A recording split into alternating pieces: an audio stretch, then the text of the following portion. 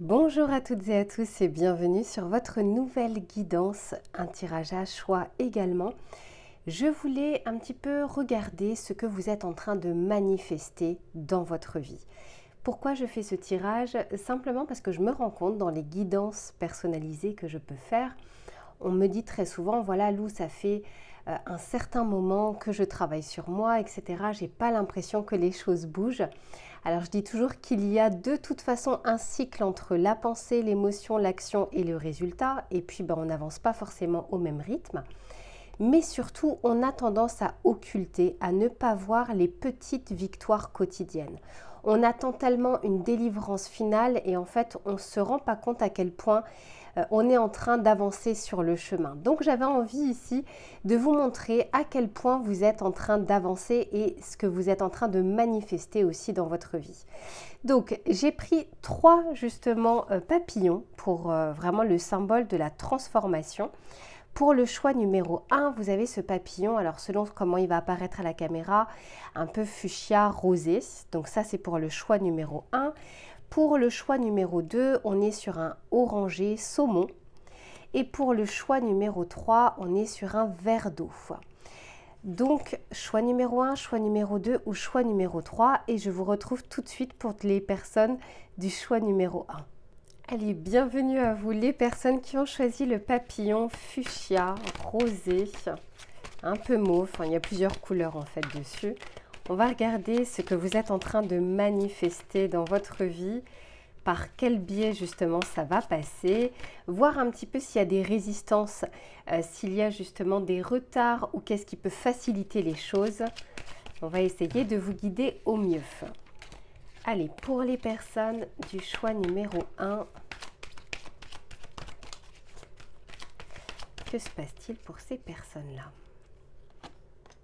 Bon, alors là, vous commencez fort, les personnes du choix numéro 1. Ici, on nous parle de guérison. Et en fait, ce que, ce que je ressens pour vous, c'est un vrai lâcher-prise. En tout cas, on travaille sur un souci de contrôle. On a voulu contrôler beaucoup de choses, que ce soit ses pensées, ses actions, les autres personnes qui nous entouraient. Et en fait, je pense, j'espère que vous vous rendez compte que c'est une énergie déployée pour très peu de résultats, puisque de toute façon, vous n'échapperez pas aux difficultés, aux surprises, bonnes comme moins bonnes.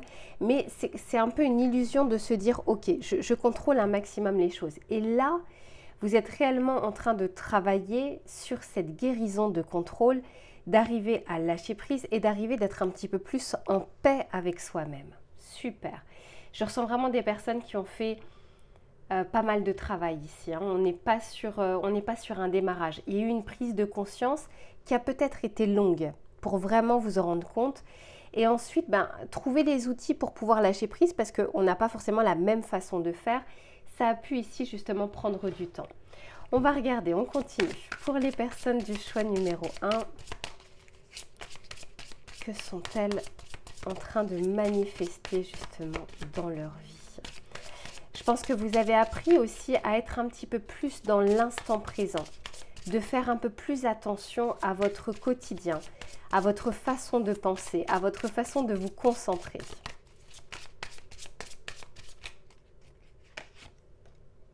Eh oui. Et du coup, qu'est-ce que vous attirez à vous? Déjà plus de plénitude. Ah ouais, magnifique. Il y a un vrai potentiel ici sur les personnes du choix numéro 1. Ici, on nous parle de l'abondance. Alors, on n'a pas la même notion d'abondance. Pour certains, il y a cet aspect euh, financier, pour d'autres, cet aspect euh, d'amour euh, sentimental. L'abondance, qu'est-ce que ça veut dire? Ça veut dire que vous avez plus dans votre vie que ce qu'il ne vous faut au quotidien. en fait, la plupart du temps, on parle des besoins vitaux. Vous avez de quoi assouvir vos besoins vitaux et l'abondance, c'est ce qui vient en surplus. C'est la cerise sur le gâteau. Sauf que très généralement, on veut être tout le temps dans une abondance, sauf que rien n'est permanent. Mais ici, peut-être que vous êtes aussi en train de travailler sur la notion de gratitude. Déjà de regarder ce qui vous entoure, ce que vous avez déjà entre les mains. Et c'est comme ça qu'on attire à soi des cerises sur le gâteau. Et encore une fois, c'est pas le gâteau en lui-même, c'est la cerise. L'abondance, c'est la cerise. Le gâteau, vous l'avez déjà. Mais, et pour vous montrer à quel point on ne fait pas attention à ce que l'on a, c'est quand on perd quelque chose ou une personne, on se rend compte à quel point on se plaignait, mais on était quand même bien puisqu'aujourd'hui on le regrette. Mais pendant qu'on avait cette chose, on n'était pas concentré sur la personne ou la situation. C'est après coup, on s'en rend compte de sa valeur une fois qu'on ne l'a plus. C'est pareil pour la santé. Tant qu'on l'a, bah, on n'y fait pas forcément attention. Quand on commence à tomber malade, on se rend compte en fait qu'on était chanceux d'être en pleine santé, d'avoir pu euh, avoir la chance d'être, de pouvoir se lever le matin sans être fatigué, euh, de pouvoir aller courir, de pouvoir aller faire du sport, de pouvoir aller travailler. C'est une fois qu'on perd ça qu'on se rend compte à quel point on veut le retrouver. Donc ici, il y a cette notion aussi d'abondance, mais aussi de gratitude. Et du coup, on vous dit que sur cette ligne-là, eh bien, vous pouvez atteindre des sommets. En tout cas, il y a un fort potentiel ici euh, pour pouvoir vous satisfaire de ce que vous avez et du coup en, accumuler d'autres, accumuler de l'amour, accumuler de la gratitude, accumuler de la joie. On va regarder comment ça se manifeste dans votre vie ou comment ça va se manifester. Pour les personnes du choix numéro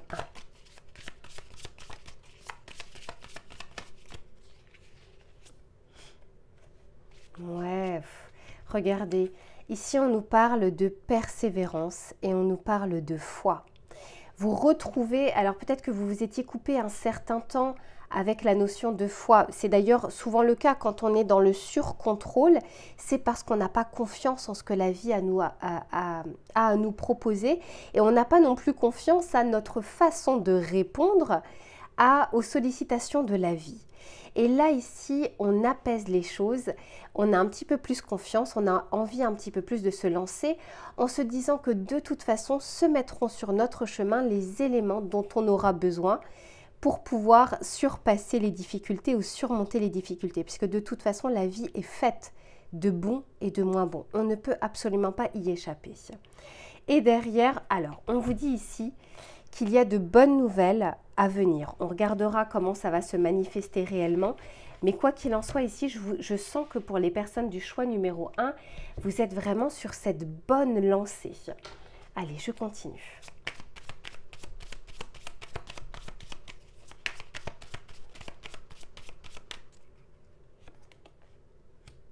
Ok.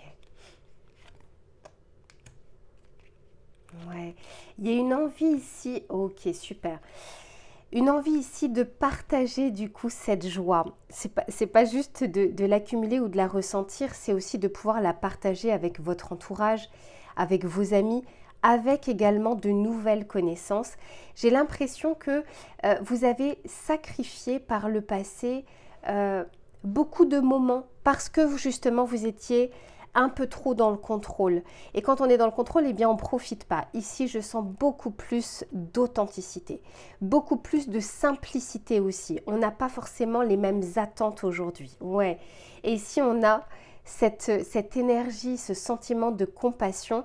Vous êtes devenu un petit peu plus peut-être empathe et sensible à ce qui vous entoure.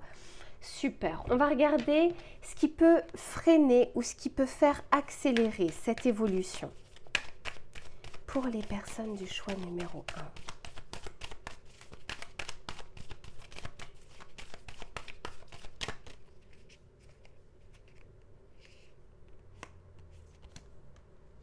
Bon, on vous dit ici que vous êtes en fin de cycle.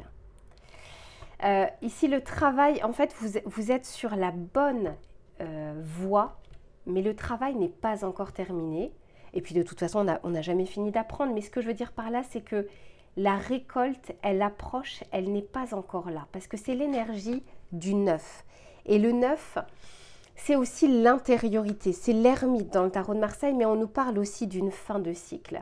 Donc ici, on vous dit, je finalise, je fais un bilan. Ça vous apporte beaucoup, hein, ce que vous êtes en train de faire, et ça va vous apporter beaucoup. Mais là encore, euh, on sent que les fruits ne sont pas encore mûrs pour pouvoir les récolter. Ça se manifeste petit à petit dans votre vie, mais l'étape suivante, c'est le 3, et le 3, c'est justement l'action. Super. Alors, on va regarder maintenant comment ça va se manifester dans votre vie. Quels vont être les changements pour vous, les personnes du choix numéro 1 Allez, quels sont les changements à venir les personnes du choix numéro 1 Ok, 7 de denier. Je vais vous montrer juste après. 6 de coupe. Super, la justice. Eh oui, un équilibre déjà qui revient et surtout c'est la justice. Ah, et puis l'as de denier, magnifique. La justice, c'est une carte très karmique. C'est un moment, il y a un résultat, on tranche sur quelque chose, euh, on, regarde les choses en face et puis il y a la récolte. Ici, pour le moment, je vous disais, les fruits ne sont pas encore mûrs. Regardez sur cette carte, sur ce set de denier. Ici, on est posé sur un arbre et on ne peut pas encore, les fruits ne sont pas encore tombés. On est encore sur cette phase d'entre-deux parce que le travail n'est pas terminé. Il y a peut-être encore des éléments que vous n'avez pas entre les mains. Mais on vous dit ici que, regardez cette carte, vous êtes en train de le manifester. En plus de ça, avec ce 6 de coupe, on nous parle bien. Euh, je pense que vous allez switcher au niveau de votre vision de votre passé et être en gratitude aussi par rapport à ce que vous avez vécu, parce que tout ce que vous avez vécu fait ce que vous êtes aujourd'hui. Vous êtes la somme de pensées, d'actions, d'émotions du passé.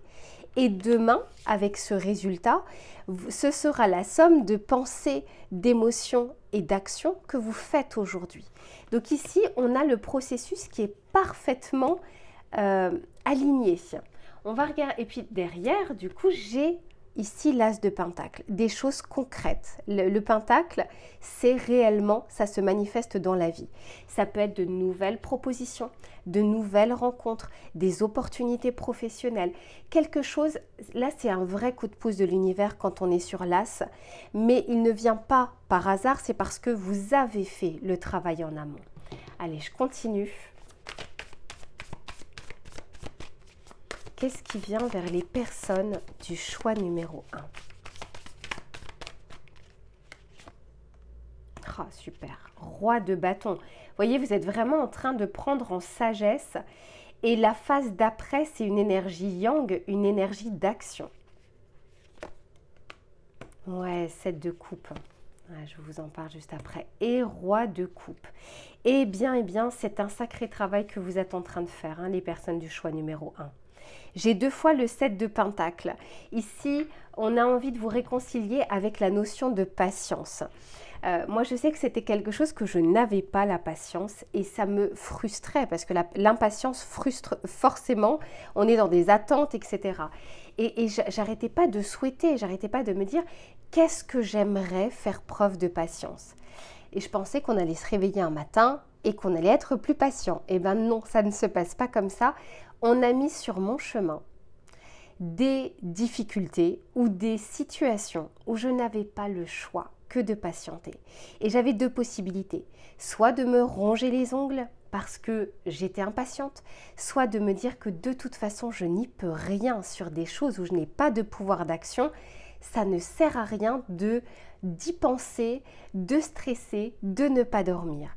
Mais ça a été voilà, ça a été un travail un petit peu de longue haleine. Et ici, c'est ce que je ressens. Je sens que le travail, il est bon, mais il est long.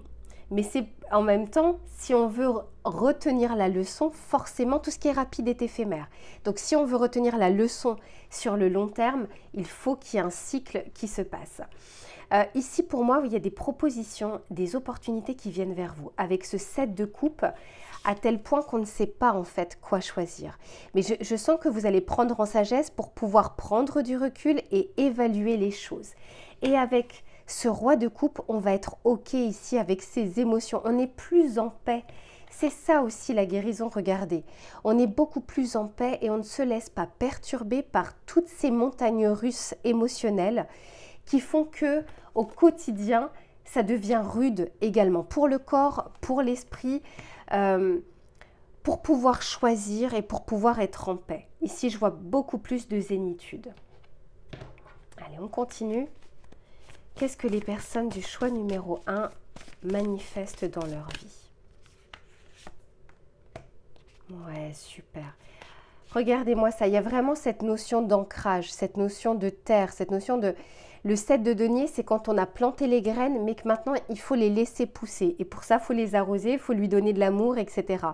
Vous n'êtes pas sur le début de votre côté, vous êtes sur la deuxième phase, et la troisième phase, c'est la récolte. Ouais, super 6 d'épée. Vous allez arriver ici à bon port. Je sens que pour vous, l'aspect émotionnel a une grande importance.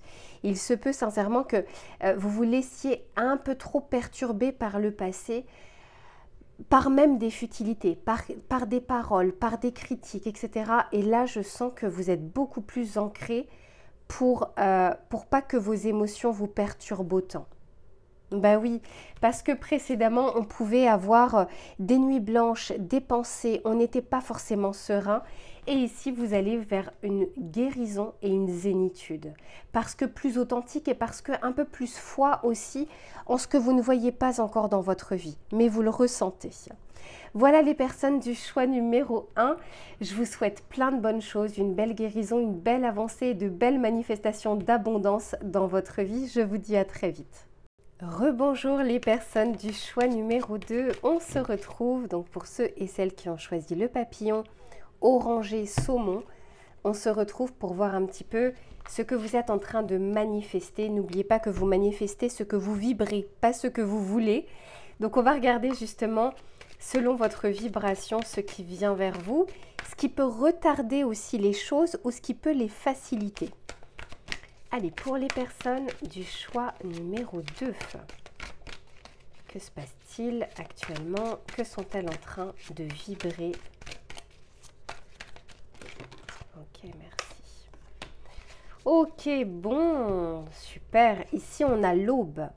Donc ici, vous êtes à l'aube d'un nouveau commencement, de nouveaux horizons, euh, d'un démarrage. Euh, on peut nous parler vraiment d'un changement euh, assez grand qui va avoir par exemple un impact sur votre vie, changement de travail, euh, changement de maison ou d'appartement, changement de ville, mais on peut tout simplement nous parler aussi de changement d'habitude qui apporte des choses petit à petit. Et oui, et vous êtes vraiment, ici on a l'aube, vous êtes à l'aube, et ici vous êtes devant la porte, vous êtes en train d'ouvrir cette porte. Donc ici, je sens quand même que les choses vont se manifester peut-être un petit peu plus rapidement pour vous. On continue.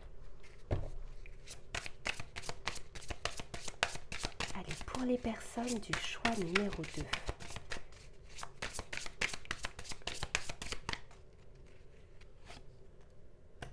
Ah ouais, ok.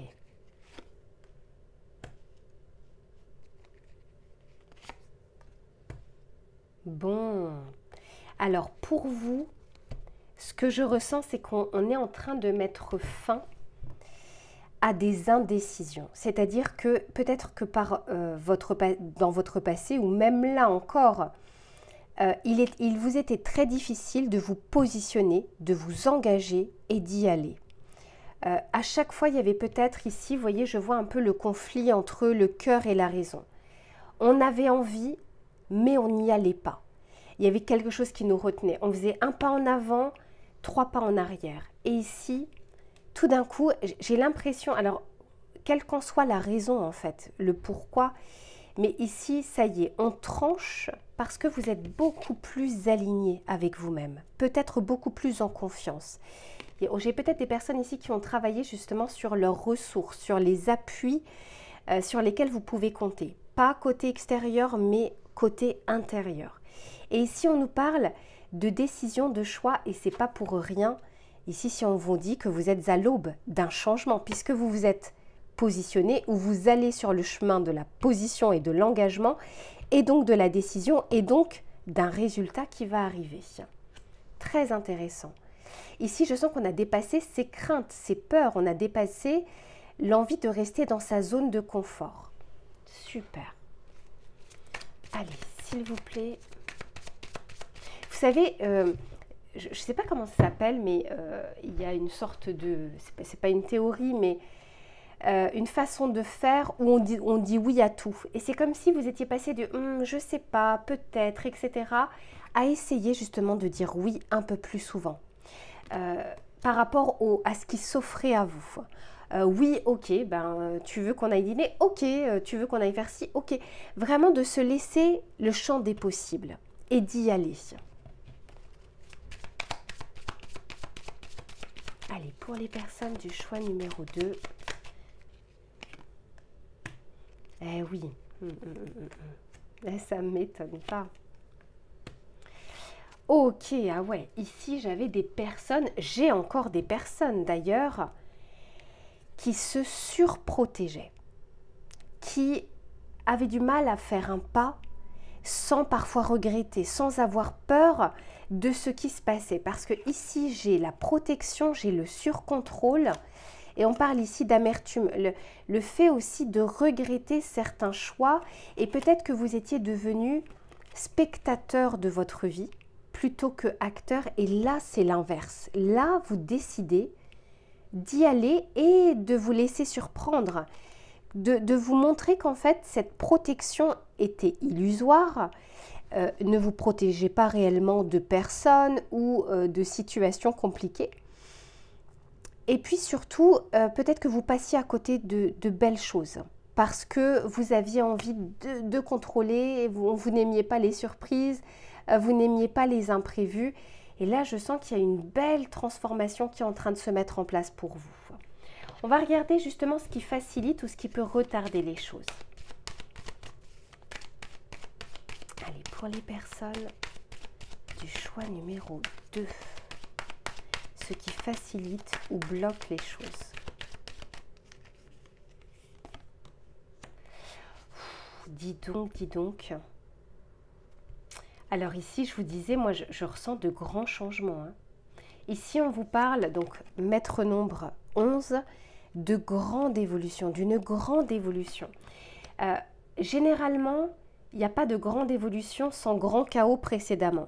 Donc soit vous êtes en train de traverser des choses lourdes mais qui, redéfinissent un petit peu les priorités, soit vous avez déjà, vous êtes déjà passé par cette phase-là, un petit peu comme une tour qui est tombée dans votre vie et la tour, elle vient déconstruire quelque chose. Il y a quelque chose qui n'a que trop duré. On n'a pas fait de changement, on n'a pas initié les changements et elle vient justement bah, nous mettre un petit peu au pied du mur. Et là, j'ai l'impression que pour vous, non seulement vous avez compris la leçon, mais vous l'avez retenue. Et, euh, et du coup, on a envie de vous récompenser. Et peut-être pour certains, vous savez, euh, c'est comme si vous vous êtes rendu compte peut-être que la vie était courte, euh, qu'on ne pouvait pas vivre que justement dans, dans une prison dorée, dans une cage dorée qu'il n'y a pas de plus grande prison que celle que l'on se construit soi-même. Il y a vraiment ce côté, ce type de mantra ici que je retrouve on va regarder. Je, veux juste continuer ici pour voir.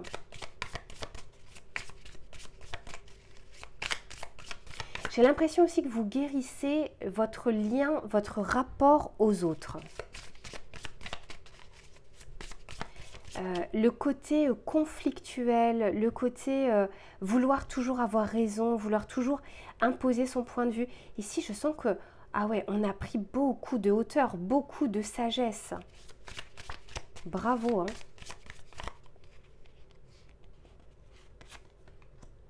Eh oui, regardez-moi ça. Ici, je, vous disais, hein, ici on parle de l'estime de soi et de l'échange. Et regardez, c'est juste en dessous, voyez, on a vraiment cet équilibre que vous êtes en train de retrouver. Et je sens que vous êtes passé par un chaos, hein, les personnes du choix numéro 2. Quelque chose qui vous a étonné, quelque chose qui vous a surpris, et vous vous êtes rendu compte justement que d'essayer de surcontrôler les choses n'a pas empêché des événements de vous surprendre. Donc c'est comme si, si on avait envie de profiter un peu plus, et vous êtes dans une dans une grande évolution. Hein. Ouais, voyez ici, on nous parle bien de la protection que vous aviez que vous essayez, que vous avez essayé de mettre en place. Ok, allez, on va voir maintenant justement comment ça va se traduire dans la matière. Alors forcément, c'est un tirage collectif, donc ça ne peut pas correspondre à tout le monde, mais on va essayer de voir dans les grandes lignes.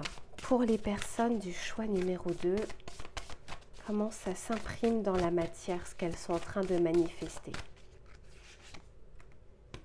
Ok, j'ai le 7 de denier,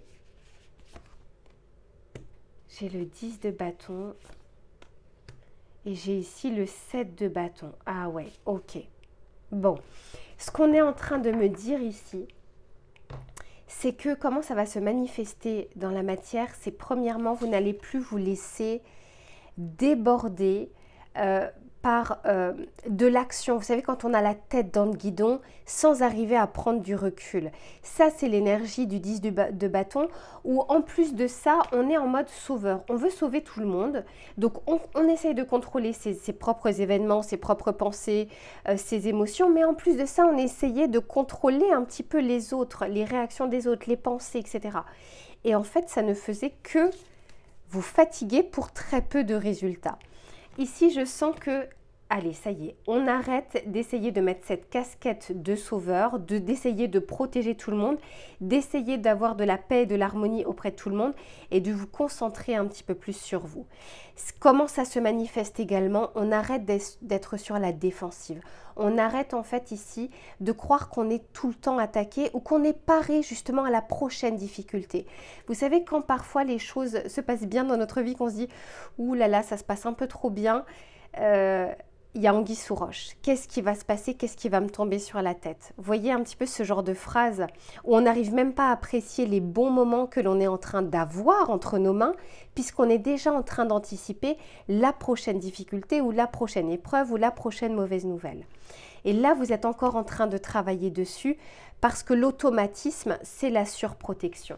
On va regarder justement comment ça évolue. Pour les personnes du choix numéro 2.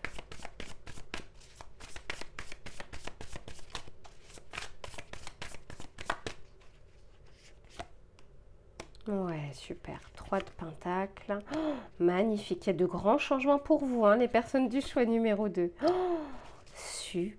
Oh là là là là là là. Dis donc, dis donc, dis donc. Bon, ici, avec ce 3 de pentacle, on arrive à composer avec les autres. Encore une fois, de ne pas essayer de les contrôler, mais de s'adapter aussi aux autres, aux points de vue différents, aux divergences. C'est ce qui fait le monde. Euh, on ne peut pas avoir que des personnes qui nous suivent ou qui nous brossent dans le sens du poil parce que ça ne nous fait pas forcément évoluer. Donc ici, c'est d'arriver aussi à composer avec d'autres personnes, d'autres personnalités et de les accepter telles qu'elles sont avec leurs blessures. En tout cas, d'arriver à les comprendre, à comprendre que chacun a sa vision selon son niveau d'avancée. Avec cette route fortune ici, je sens que vous avez des coups de pouce de l'univers. Là, des choses qui étaient en bas sont en haut, des choses qui sont en haut sont en bas. Et on est OK avec ces variations puisque rien n'est permanent. Ni la douleur, ni le bonheur, rien n'est totalement plat. Tout change autour de nous, y compris les saisons.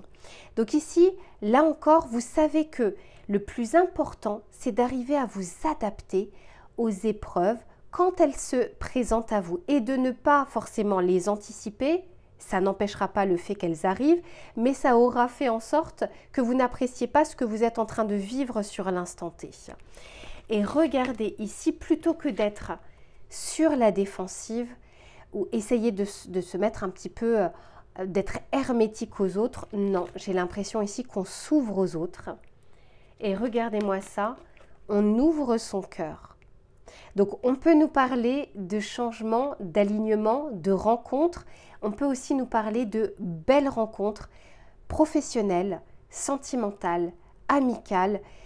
C'est pas que le sentimental. Hein. Le 2 de coupe, c'est d'être au diapason avec des personnes qui sont en train de vibrer la même chose que vous. Donc, très très beau tirage. Ici, je vois pas trop de freins. Les, freins, c'est les, automatismes. Et il faut les comprendre parce que le cerveau va aller à ce qu'il connaît. Donc, s'il a connu pendant des années le fait de, dès qu'il y a une proposition, de se, de se braquer et de se demander comment ça pourrait se passer, de mal, etc. Bon, tout ça, ça se travaille en fait. C'est des mises à jour que l'on doit faire sur son cerveau et c'est des nouvelles habitudes qu'il y a à prendre. Mais pour vous, je sens vraiment de grands changements qui sont en train de se manifester pour ces prochains mois. Donc voilà pour les personnes du choix numéro 2.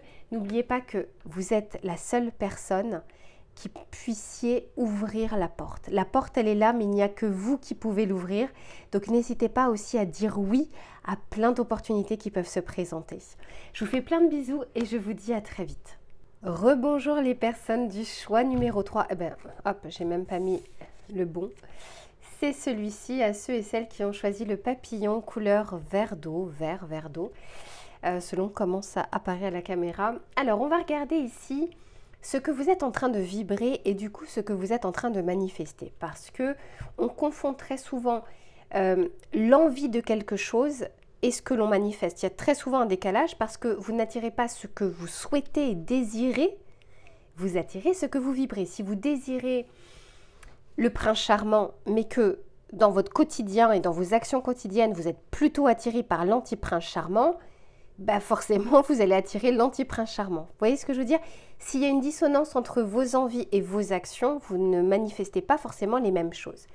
Donc on va regarder ici justement bah, ce que vous allez manifester dans votre vie. Allez, on va commencer déjà pour voir la vibration que vous avez actuellement. Pour les personnes du choix numéro 3, qu'est-ce qu'elles sont en train de manifester, qu'est-ce qu'elles sont en train de vibrer? Oh là là, comme le choix numéro 2 ici, pour vous, vous êtes à l'aube d'un nouveau commencement, d'un nouveau départ, d'un grand changement. Regardez cette carte. Euh, ici, vous êtes donc à mon avis plutôt en fin de cycle et là vous êtes à l'aube, à l'aube des prémices de ce qui est en train de se manifester dans votre vie. Euh, je vais continuer parce que pour le choix numéro 2, il y avait une raison bien précise. Ici, on va voir pourquoi de votre côté vous êtes à l'aube de ce changement. Donc on peut nous parler de changement professionnel, de changement au niveau de votre vie personnelle. On parle de la famille derrière, donc ça peut être un lien aussi avec vos relations. Euh, ça peut être effectivement le domaine sentimental. On va regarder tout ça. Pour les personnes du choix numéro 3. Ok. Ici, on nous parle de compassion. Alors, j'entends aussi la compassion envers vous-même. Hein. Des erreurs du passé, des choix du passé. Ouais, le cœur. Alors vous, c'est vraiment le chakra du cœur. Hein. C'est un travail de guérison du cœur, du pardon aussi, j'entends. Compassion, pardon, chakra du cœur, c'est lié.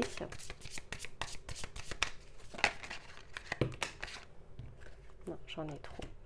Mais on me parle vraiment de commencement, de nouveau départ. J'ai l'impression que vous vous êtes réconcilié avec vous êtes en train de vous réconcilier avec votre passé, les personnes que vous avez croisées, les personnes qui sont entrées dans votre vie. J'entends, j'ai plus envie d'aller en guerre. Je veux être en paix. Et ici, et voilà. Alors, il se peut justement que les épreuves que vous avez traversées vous ont tellement apporté que vous avez envie de le partager. Euh, peut-être qu'on a parmi vous euh, des personnes euh, thérapeutes, des personnes qui ont une très belle écoute des autres, qui savent parler au cœur d'une autre personne. Vous voyez ce côté vraiment bienveillance. Vous avez travaillé ici sur le cœur, hein, sur cette bienveillance et sur je comprendre l'être humain, vous savez, mais vraiment l'humain avec un grand H. Super. Alors, on va regarder justement, hum, hum, j'ai bien envie de savoir, à mon avis, vous avez eu de sacrées épreuves hein, pour les personnes du choix numéro 3. Vous en avez vu, vous avez vu des batailles, vous en avez perdu, mais la plus belle bataille, c'est celle de la guérison avec vous-même.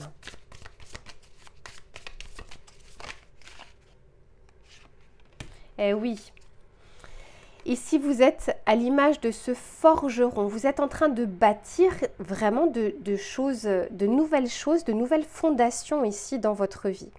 On peut aussi nous parler euh, de reconstruction familiale, dans le sens où euh, ça peut être famille recomposée.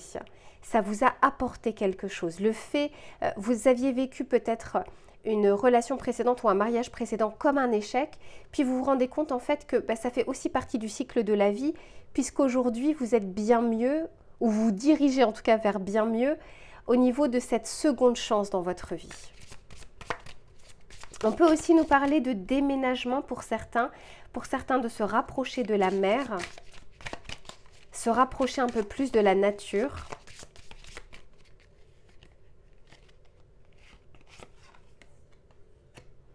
Ici, et oui, on a justement ce lien avec les autres. On nous parle ici des relations. On nous parle ici de la vulnérabilité. Euh, c'est pas pour rien si, à mon avis, j'ai pas mal d'empathie ici, de, de, personnes qui peuvent être hypersensibles, mais cette fois-ci, on est OK, on s'est réconcilié en fait avec sa sensibilité. Ouais, ouais, ouais, super. Vous êtes vraiment effectivement à l'aube euh, de, grands changements, mais vous êtes en train de le bâtir. Vous pouvez compter sur vous pour le bâtir et pas forcément sur les autres.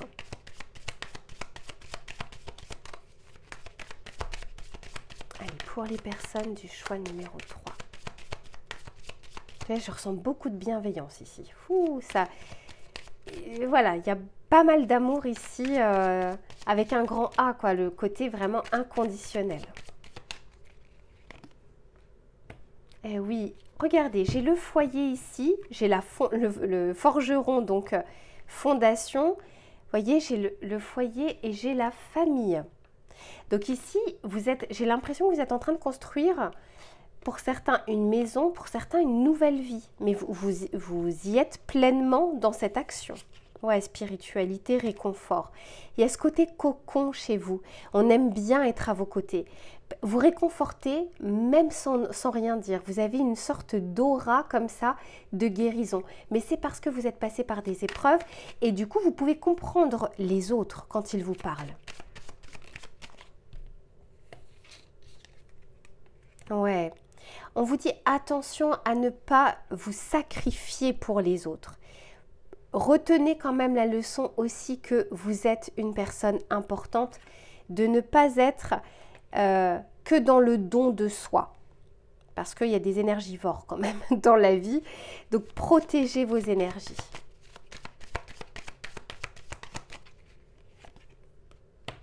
Ouais.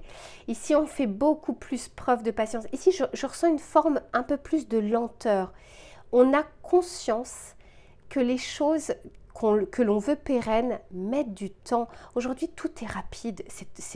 on en a oublié la notion du temps. Et ici, vous vous êtes réconcilié avec ça, que la vie n'est pas faite que de tourbillons. Il faut savoir aussi profiter des instants, des instants de paix, des instants de calme. Ouais, beaucoup de maturité ici, hein. beaucoup de sagesse et de maturité. Bon, alors on va voir un petit peu ce que vous manifestez avec tout ça. En tout cas, vous êtes à l'aube d'une nouvelle vie. Hein. Bravo. Allez, pour les personnes du choix numéro 3, j'en ai deux. J'en ai trop. S'il vous plaît, pour les personnes du choix numéro 3. On va voir un petit peu les facilités ou ce qui peut retarder les choses. Ok, ici on nous parle de l'auto-évaluation énergie 11. Attention à ne... Enfin, je pense que vous avez travaillé sur l'estime de soi, sur l'amour propre. Euh, de ne plus vous laisser ballotté par le jugement des autres. Et c'est aussi pour ça que vous faites preuve de compassion parce que vous ne faites pas ce que vous n'avez pas envie que l'on vous fasse de votre côté. Donc ici, on a cette énergie de je fais attention à ce que l'on me dit, mais j'ai pris conscience que ce que l'on me dit, c'est la vie de cette personne selon son vécu, selon son prisme. Pas la réalité, pas ma réalité et pas qui je suis. Très facile de juger les autres mais alors qu'en fait, on n'est jamais dans leurs propres chaussures. Et ici, vous avez vraiment fait ce travail de votre côté. Ok, franchement, vous avez une sacrée sagesse et bienveillance. J'aime beaucoup. Allez, pour les personnes du choix numéro 3.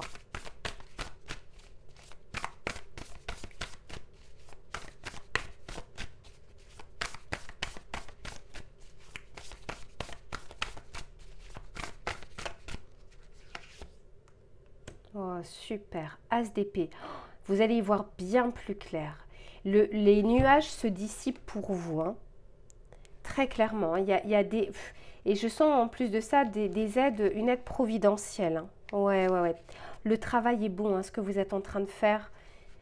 Vous avez euh, la bonne formule pour évoluer de votre côté.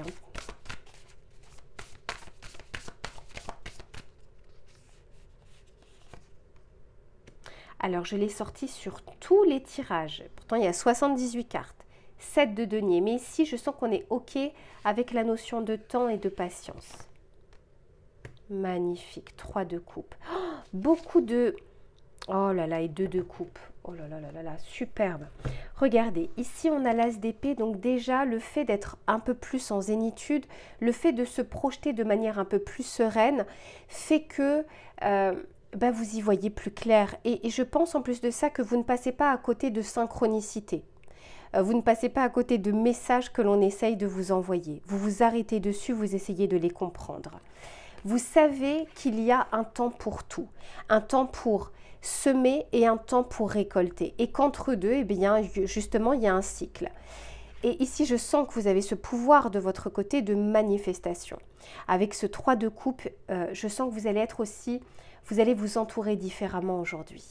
Encore une fois, je vous disais, ne vous oubliez pas, parce qu'il y a des personnes qui sont énergivores, mais la famille, c'est pas que la famille de sang, c'est pas que le côté euh, sentimental, c'est toutes les connaissances ici. On dit qu'on est la somme des, de cinq personnes qui, avec lesquelles on est le plus proche.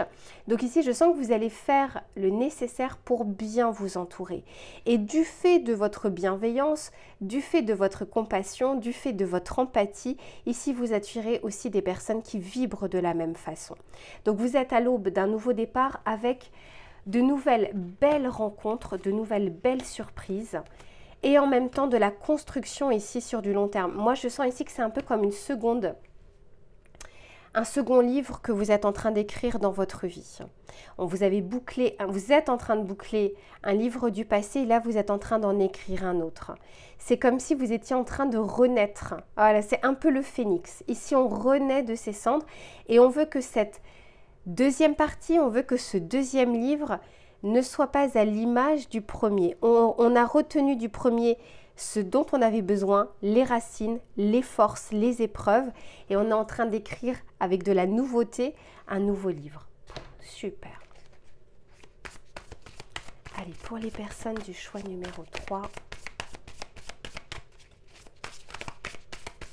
qu'est-ce qu'elles sont en train de manifester. Ici, je vois beaucoup de liens avec les autres. Donc peut-être que vous êtes en pleine reconversion professionnelle avec des métiers liés à la guérison, au bien-être, euh, aux thérapies.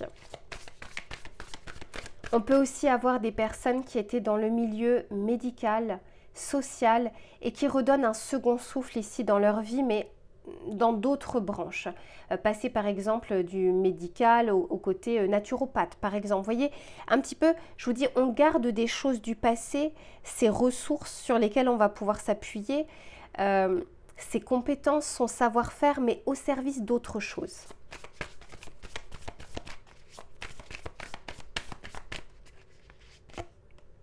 Ouais, la lune. Ok.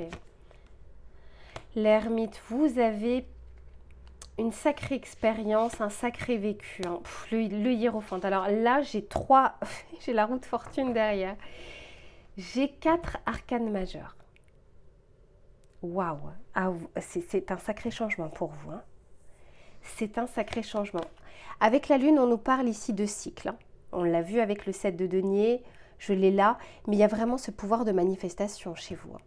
Il y a peut-être quelque chose avec le cycle lunaire. Peut-être que vous faites aussi des, soins de guérison liés à la lune, aux phases de lune.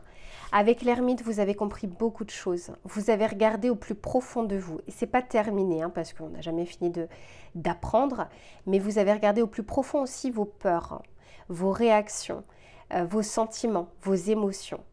Et vous avez trouvé la lueur à l'intérieur de vous pour pouvoir euh, la projeter vers l'extérieur. Et ici, avec le hiérophante, eh bien écoutez, on vous a entendu, on vous a compris et surtout, encore une fois, je sens beaucoup de guérisseurs, de thérapeutes ici sur ce choix numéro 3, ou en tout cas vous amenez, vous allez vers cette voie-là, pour certains comme une mission de vie.